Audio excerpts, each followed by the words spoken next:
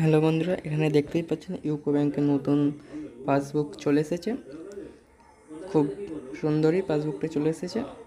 এখানে scan code বসবে, এখানে কিছু লেখা আছে, ঠিক আছে?